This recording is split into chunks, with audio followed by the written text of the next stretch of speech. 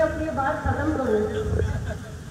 और साथ में आप लोगों का जज्बा देखकर भी मुझे बड़ा, मेरा मन गदगद हो रहा है कि बारिश हो रही है, पानी गिर रहा है और आप सब खड़े हुए हैं। तो आप सबको हाथ जोड़कर प्रणाम। ऐसे जनता जनार्दन को, ऐसे हमारे कार्यकर्ता साथियों को, कि न गर्मी आपको रोक पाती है, ना बारिश आपको रोक पाती है, न ठंड आपको रोक पाती है। सुबह से हमने निकले हुए हैं। और अभी अचानक बारिश होने लगी लेकिन इससे पहले चिलचिलाती हुई धूप थी।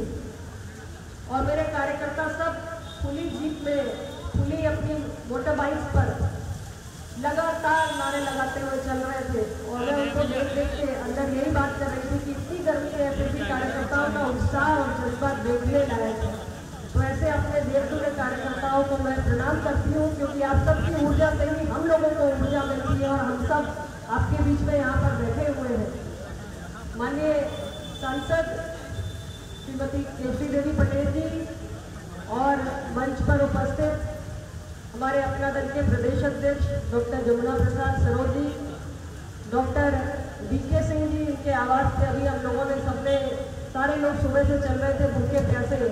अभी आपने हम लोगों को बढ़िया सा भोजन भी करवाया और डॉक्टर पंकज त्रिपाठी जी हमारे अपना दल के राष्ट्रीय नेता श्री राजेंद्र प्रताप सिंह जी, हमारे दर्जा प्राप्त राज्य मंत्री श्री रामलखन पटेल जी, दर्जा प्राप्त राज्य मंत्री हमारी बहन रेखा पटेल जी और भारतीय जनता पार्टी के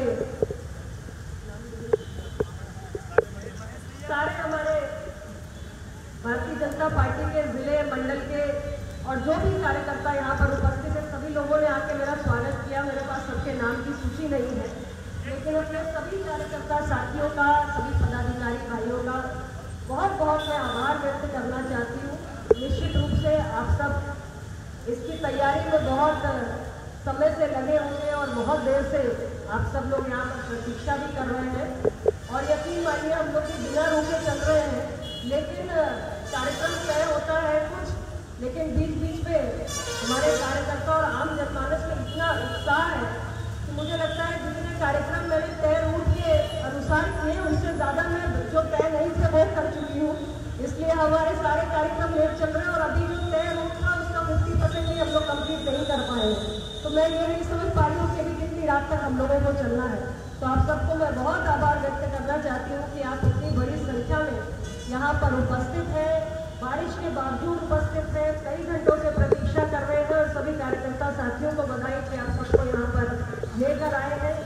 जन आशीर्वाद यात्रा में आप देख रहे हैं कि अपना दल और भारतीय जनता पार्टी की सामूहिक रूप से भागीदारी है। और हमारा उद्देश्य सिर्फ़ इतना है कि अब कोरोना की दूसरी लहर के बाद जरा थोड़ी राहत मिली है तो कम से कम जो हम जनता से थोड़ा सा हम लोग कहीं ना कहीं कोरोना से भयभीत होकर कहीं ना कहीं घरों में कैद हो गए थे।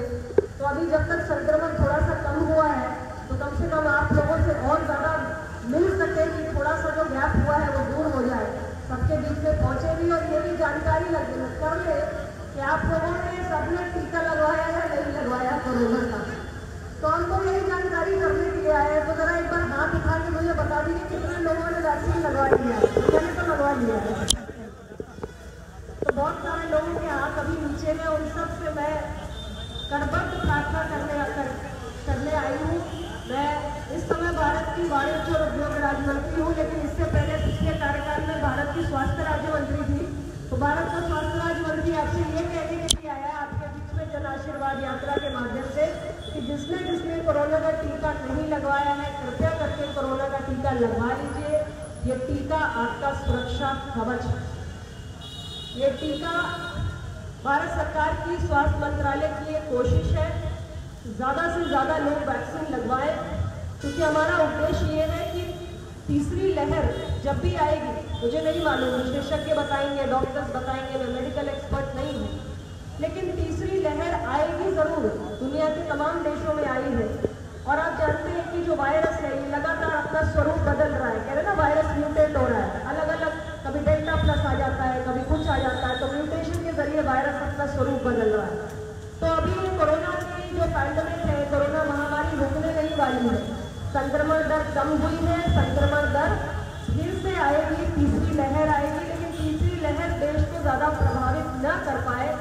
इसके लिए हमारी कोशिश है, जो कहते हैं अंग्रेज़ी में ब्रेक द यानी ये जो एक व्यक्ति से दूसरे व्यक्ति को, दूसरे व्यक्ति से तीसरे व्यक्ति को, तीसरे व्यक्ति से चौथे व्यक्ति को ऐसे फैलता चला जाता है तो ये जो चेन बनी हुई है, इसको हम इसलिए तोड़ सकते हैं कि मान लीजिए मुझे संक्रमण हुआ और मैं इनके संपर्क में आई, लेकिन इनको तो वैक्सीन लगा हुआ है।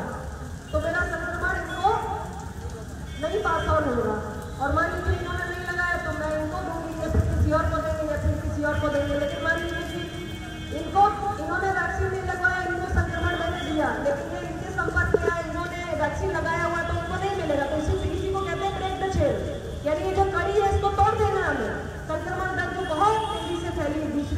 पहली लहर में उसको, हमको बीच में से अगर हम तोड़ देंगे तो ये जैसे दूसरी लहर बहुत भयानक हो गई थी, तीसरी लहर इतनी भयानक नहीं होगी, हो सकता है कि देश में हम रोक भी पाए तीसरी लहर को।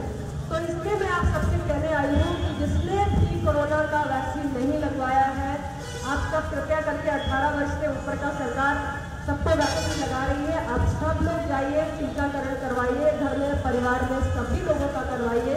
आपका सुरक्षा कवच है आपको वैक्सीन लगा होगा तो आपके अंदर की जो इम्यूनिटी है, प्रतिरोधक क्षमता है, वो बढ़ जाएगी कई गुना। तो आपको संक्रमण पहले तो होगा ही नहीं। और अगर हो भी गया तो इतना माइंड इतना कमज़ोर होगा कि जीवन पे खतरा नहीं होने जा रहा है। जैसे दूसरी लहर में बहुत सारे लोगों को अपनों को हमने गंवाया।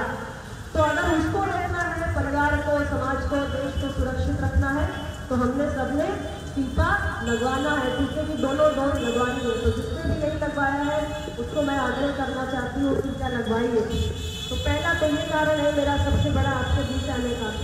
और दूसरा कारण आपके बीच आने का ये है कि इसमें साढ़े चार वर्षों में जिस तरीके से सरकार ने काम किया, तमाम विकास की परियोजनाएँ उत्तर प्रदेश के अंदर आई। आपके अपने ही ज़िले में भी बहुत सारा काम हुआ, नई सड़कें बनी, लेकिन अगर प्रदेश की दृष्टि से मैं बात करूँ तो तीस नए मेडिकल कॉलेजेस हमने बनाए। हैं देश के अंदर मेडिकल कॉलेज बनेंगे तभी तो नए डॉक्टर्स पैदा होंगे, नए डॉक्टर्स पैदा होंगे, तभी तो गाँव में डॉक्टरों की कमी है। उसका समस्या का समाधान होगा, लोग स्वस्थ रहेंगे। तो तीस नए मेडिकल कॉलेज अट्ठाईस नए इंजीनियरिंग कॉलेज छब्बीस नए पॉलिटेक्निक तीन नए स्टेट यूनिवर्सिटी इक्यावन नए राजकीय महाविद्यालय साढ़े साढ़े चार साल में बनाए गए हैं। देश के अंदर हवाई अड्डे बनाए जा रहे हैं। डोमेस्टिक एयरपोर्ट सत्रह जगह बनाए जा रहे हैं। कई जिलों में, चित्रकूट में, ललितपुर में, सोनभद्र में, मुरादाबाद, मेरठ, अलीगढ़, सहारनपुर, सब जगह अंतर्राष्ट्रीय हवाई अड्डे बनाए जा रहे हैं। कुशीनगर में बनाया जा रहा, अयोध्या में बनाया जा रहा, जेवर में, नोएडा में बनाया जा रहा। ऐसा बहुत सारा काम विकास का हुआ है, जो इस दृष्टि से किया गया है कि उत्तर प्रदेश में जो अर्थव्यवस्था की रफ्तार कोरोना में, केवल हमारे प्रदेश में नहीं, बल्कि देश में, दुनिया में, सब जगह अर्थव्यवस्था की रफ्तार कम हो गई थी। अर्थव्यवस्था को झटका लगा था। तो हमको कैसे अपनी अर्थव्यवस्था को फिर से खड़ा करना? तो अर्थव्यवस्था कैसे खड़ी होगी? हवा में तो नहीं खड़ी होती ना। सड़कें बनेंगी, बिजली मिलेगी, हवाई अड्डे बनेंगे। तभी तो जाके ना अर्थव्यवस्था का विकास कब होता? है अर्थव्यवस्था तब बढ़ती है जब आधारभूत संरचना बनती है इंफ्रास्ट्रक्चर बनता है तो उसको बनाने के लिए सरकार ने साढ़े चार वर्षों में बहुत सारा काम किया है और बहुत सारी ऐसी कल्याणकारी योजनाएँ हैं। तो भारत सरकार की योजनाएँ हैं, प्रधानमंत्री आवास योजना, जिसके तहत करोड़ों गरीबों के जिनके सर पर छत नहीं थी, उनको आवास मिला। स्वच्छ भारत मिशन के तहत जिनके पास शौचालय नहीं था, उनके शौचालय बनाए गए। आप सब लोग के गाँव में किसी शौचालय बना के नहीं बनाए बना है ना आवास योजना के आवास बने हैं ना? आपका बना ना किसी का बना है कि नहीं बना है? और गैस सिलेंडर मिला है कि नहीं? और ये पाँच लाख वाला स्वास्थ्य बीमा का आयुष्मान भारत का गोल्डन कार्ड होता है, वो भी कुछ लोगों को मिला होगा या नहीं? तो इसलिए ये तमाम जनधन खाते जिनका बैंक में खाता नहीं था, गरीबों को फटकार के बैंक वाले भगा देते थे कि भाई खाता नहीं है तुम्हारा। तो आज सरकार ने खाता भी खोलने का प्रयास किया है। तो ऐसे बहुत सारे जो योजनाएँ हैं जो आम जनमानस तक पहुँची है, वही सब चर्चाएँ करने के लिए सरकार की क्या उपलब्धियाँ रही? इन तमाम बातों को लेकर हम सारे साथी आपके बीच में आए हैं और हमारे यही आप सबसे अपील है कि आप इसी प्रकार अपना आशीर्वाद जो आपने कई बार लगातार दिया है, वो इसी प्रकार आपका स्नेह, आपका आशीर्वाद मिलता रहे और उत्तर प्रदेश को ग्रोथ इंजन बनाने में, उत्तर प्रदेश को आगे बढ़ाने में हम सभी लोग सहयोग करते रहेंगे और सभी लोग काम करते रहेंगे। आप लोगों का स्नेह और आशीर्वाद इसी प्रकार मिलता रहे। तो ज़्यादा कुछ लोग कहते हैं, पुनः आप सभी साथियों को बहुत बहुत धन्यवाद। अब इतनी बड़ी संख्या में यहाँ पर आए और बारिश के बावजूद यहाँ पर खड़े रहे। बहुत बहुत धन्यवाद।